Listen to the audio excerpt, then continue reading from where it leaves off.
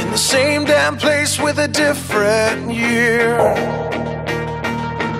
Well, the lines on my face never look so clear. I swear. You were six feet in on a one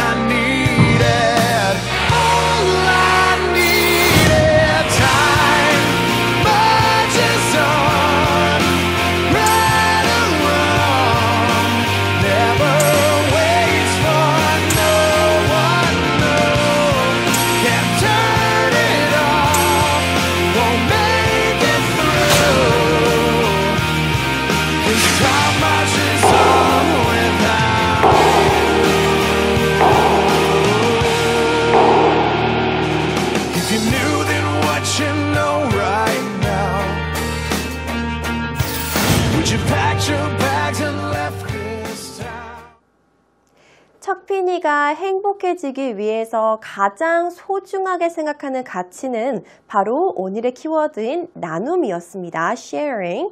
자, 그랬는데 이 키워드를 가지고 우리가 나눔이라는 가치를 실천을 해요. 그러면 나눔으로써 척핀이는 행복해졌죠? 근데 그 행복이 두 배, 세 배, 네 배가 된다는 것을 경험했습니다. 바로 행복을 되찾은 이들을 지켜보는 행복에서 척핀이는 더 행복해집니다. 척핀이가 나누기로 결심을 하잖아요. 그래서 자기가 나눈 부를 도움을 받고 그 혜택을 받은 사람들의 행복해지는 모습을 보니까 와 내가 생각한 행복보다 훨씬 더 행복하다라는 것을 느끼게 됩니다. 그래서요 척핀이는요 행복을 되찾은 사람들을 지켜보면서 더 행복감을 느끼게 됩니다. 자, 이 문장을 우리가 같이 한번 우리가 영작을 해볼 텐데요. 복잡하잖아요. 우선 어디서부터 끊어야 될지도 잘 모르겠고 이 문장을 내가 영작을 할 때 어디까지가 조어고 동사인지가 잘 모르겠잖아요. 그러면 우리는 이제 한글 문장을 조금 trim 한번 이렇게 거품을 걷어내 볼게요. 한글 문장도 조금 이렇게 단순하게 거품을 걷어내고 그 단순한 문장을 가지고 먼저 영작을 해볼 거예요. 그리고 나서 무엇을 할 거냐면요. 원래 문장. 이 문장을 다시 한번 그 거품을 걷어낸 뼈대를 살을 붙이는 작업을 할 거예요. 뼈대에 살을 붙이는 작업. 자, 우선은 척피니는 행복했다라는 이 문장을 가지고 영작을 해보도록 하겠습니다. 척피니는 행복했다. Feeney was happy. Chuck Feeney was happy.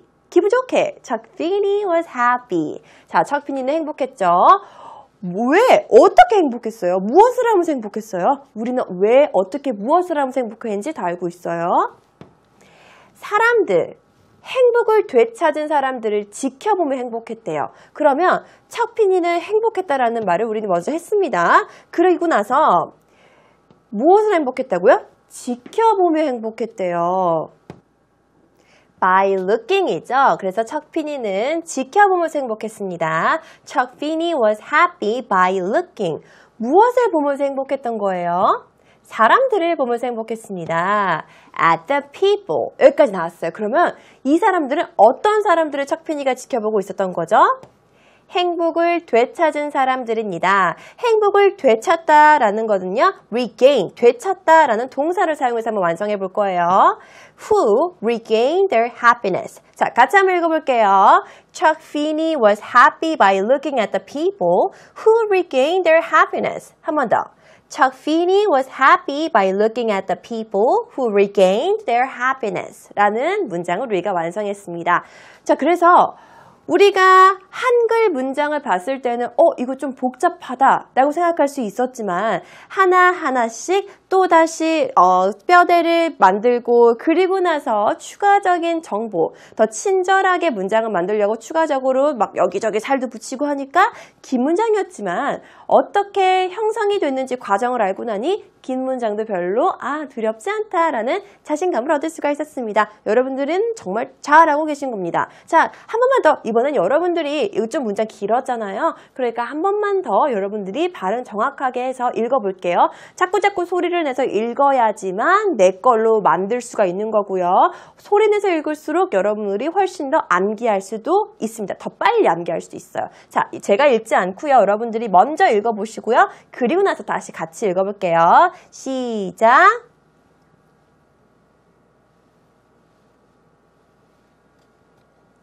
자, 이번엔 같이 Chuck Feeney was happy by looking at the people who gain, regained their happiness. 잘했습니다. 자, 그러면은 척 피니는요. 행복을 되찾은 사람들을 보면서 행복을 느꼈어요. 행복이 배가 되고 배가 됐어요. 자, 그러면은 그 행복을 되찾은 사람들은 척 피니의 어떠한 선택 때문에 행복을 되찾게 됐을까요? 바로 기부였습니다. 15년간 약 2,900회를 기부를 했대요. 와, 정말 대단한 것 같아요.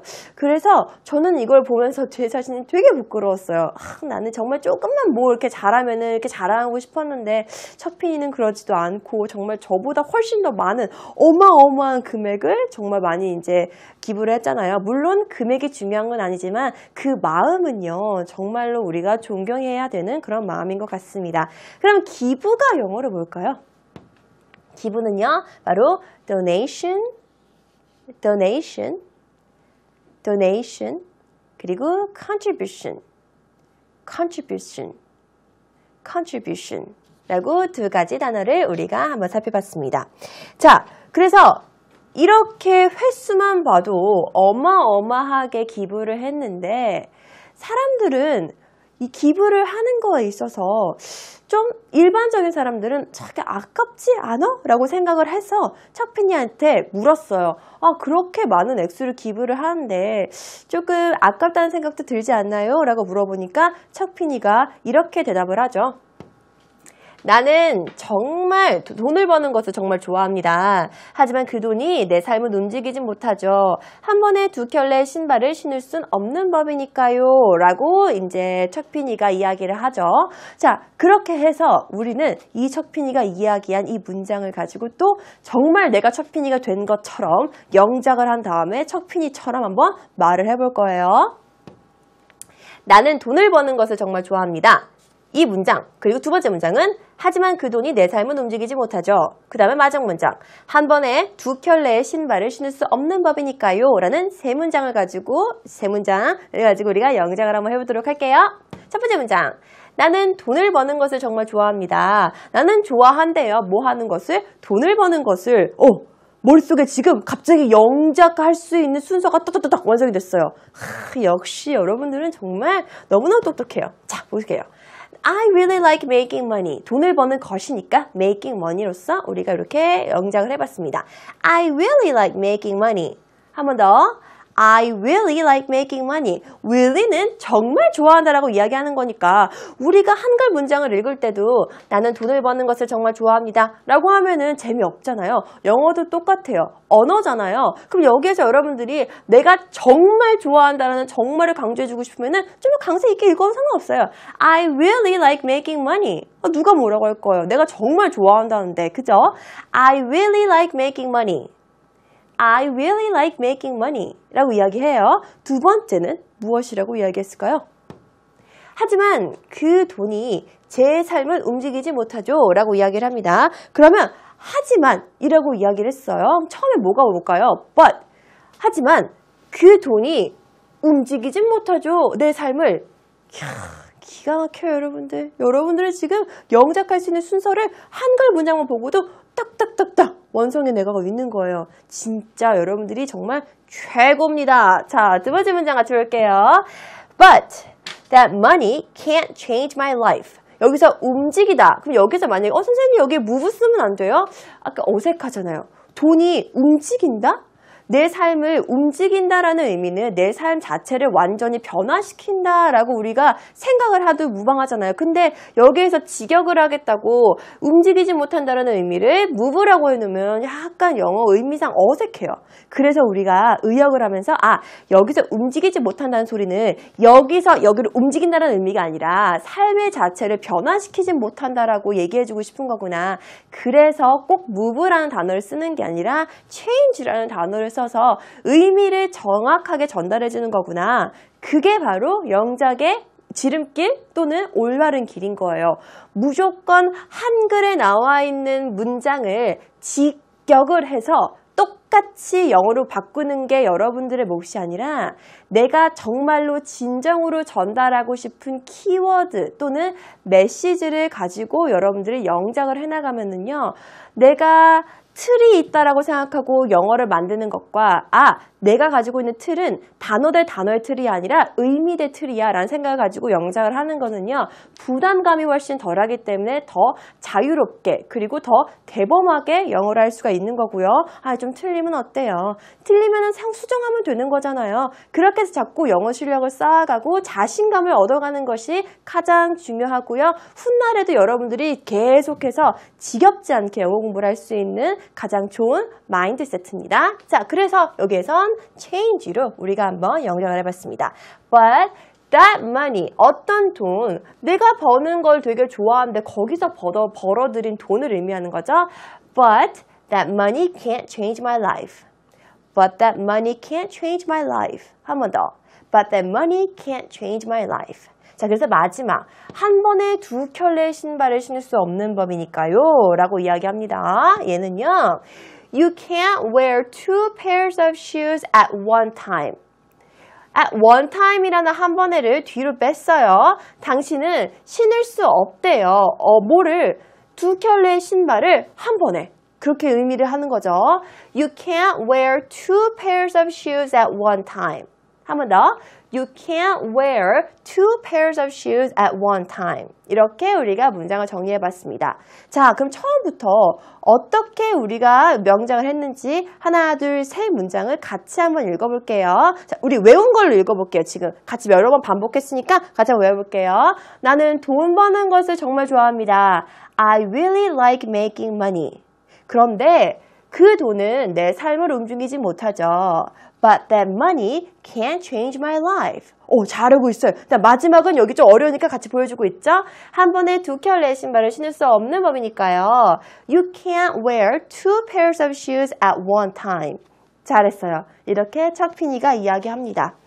그런데 이렇게 척피니의 어마어마한 기부에는 정말 우리가 알지 못하는 한 가지 비밀이 숨어 있었어요. 자, 그한 가지 비밀이 무엇이었을까요? my heart on the ground. This was the last thing.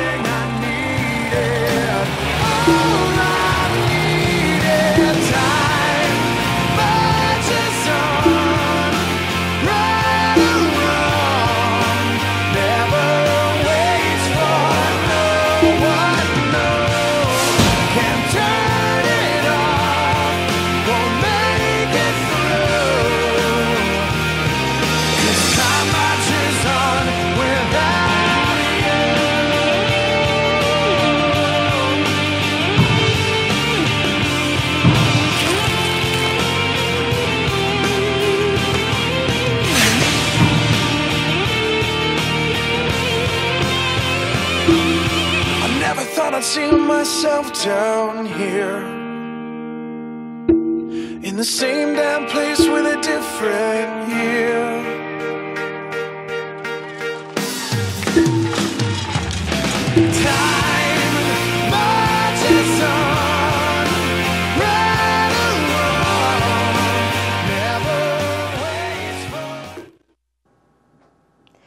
척피니가 그렇게 많은 액수의 돈을 기부하게끔 만든 가장 큰 영향력을 미친 사람은요, 바로 척피니의 어머님이었습니다. 척피니 어머니는요, 항상 아들한테 이 사실을 강조하곤 했대요. 바로 자랑하지 마라 라는 사실이었습니다.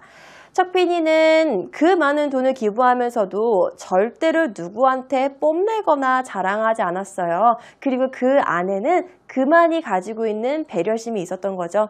다른 사람들을 불편하게 하고 싶지 않았던 거고 그 가르침을 바로 어머니한테서 받았습니다.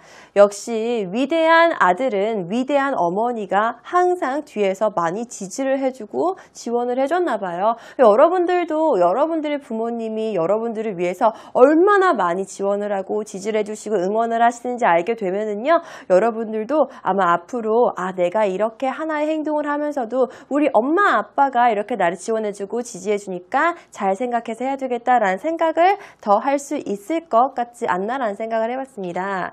자, 그래서 어머니가 자랑하지 말라고 했는데 그럼 자랑하지 말라는 영어로 어떻게 표현을 하면 좋을까요? 바로 do not boast your wealth. 한 번 더. do not boast your wealth. boast는요, 뽐내다, 자랑하다 라는 의미를 가지고 있어요. 여기에서 여러분들이 가져가야 될 것은 바로 boast라는 의미. 아, 뽐내다, 자랑하다는 boast구나 라고 이야기를 합니다. 그래서 do not boast your wealth. 엄마는 그렇게 착핀이한테 가르쳤다고 이야기를 하죠. 자, 근데 여러분들이 또 여기에서 한 가지 좀 중요하게 생각하고 가야 될 포인트는요. 기분은요. 특히나 남을 위해서 하는 기부들은요, 자랑하지 않는 것도 중요하고요.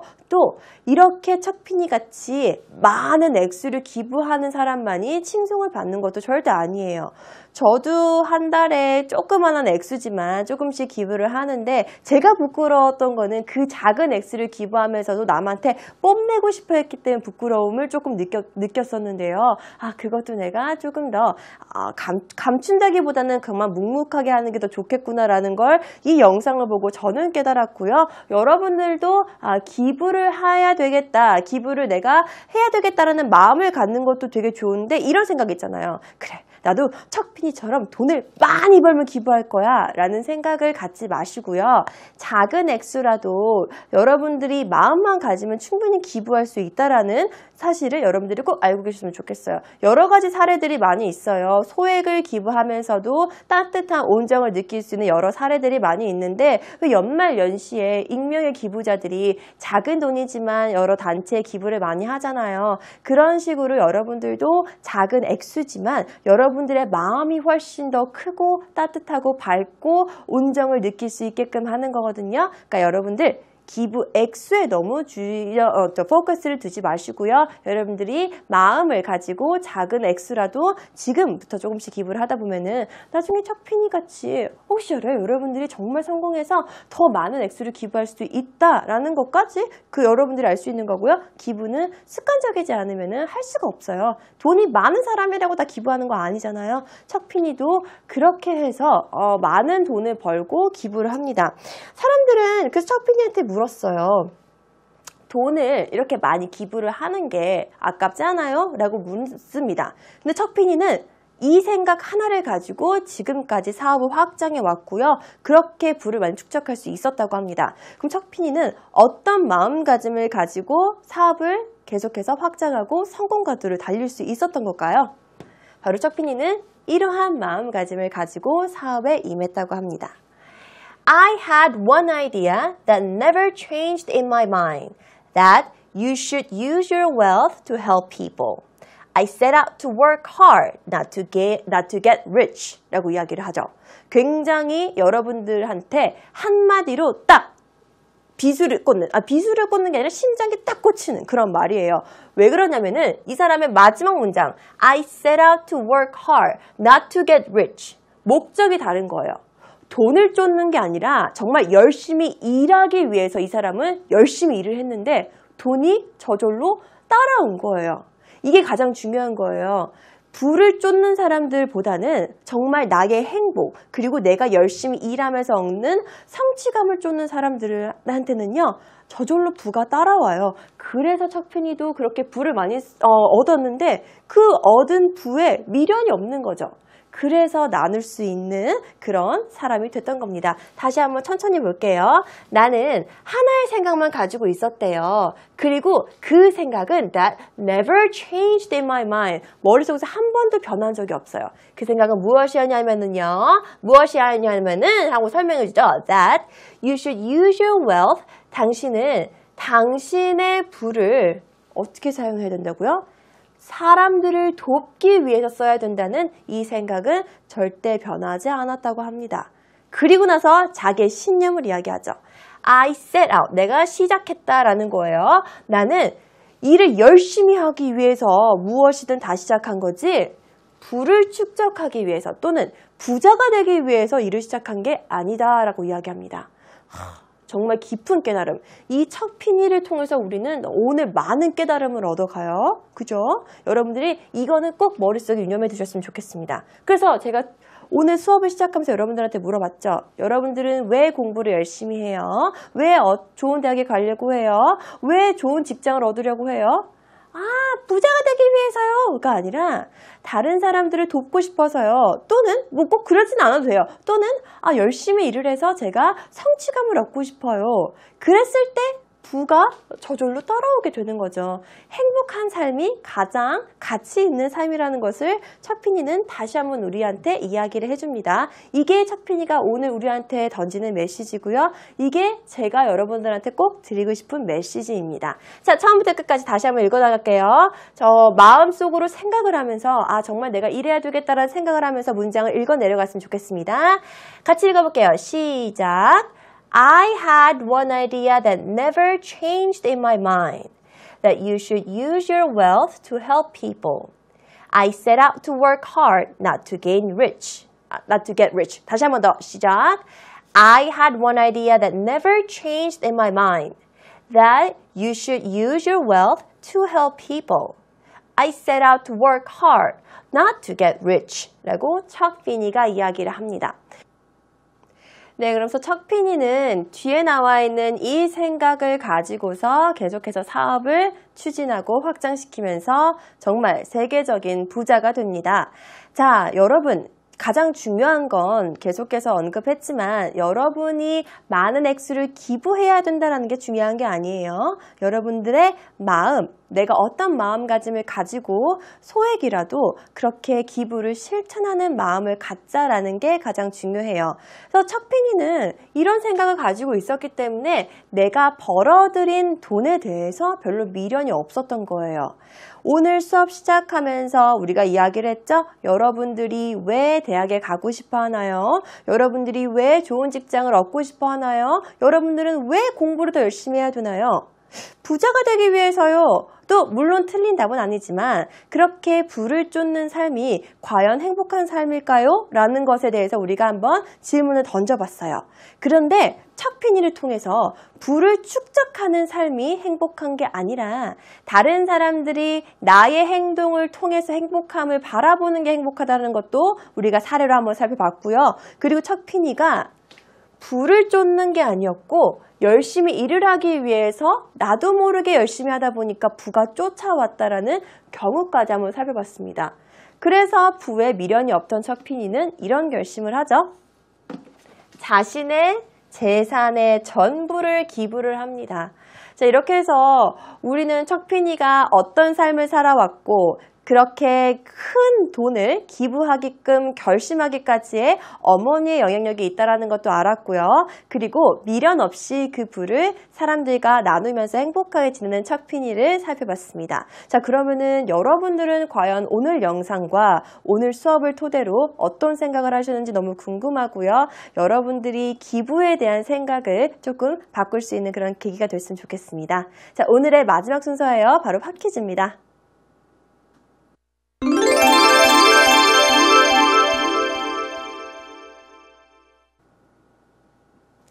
오늘의 팝 퀴즈입니다. 척피니는 자기가 정말 좋아하는 일을 하면서 부를 축적을 했고 그리고 더 행복해지기 위해서 자신의 부를 나누기로 결심을 합니다. 그리고 여러분들이 오늘의 팝 퀴즈를 들으시면서 오늘의 키워드를 생각하시면서 문제를 풀어나가셨으면 좋겠습니다. 자, 오늘의 팝 퀴즈는요.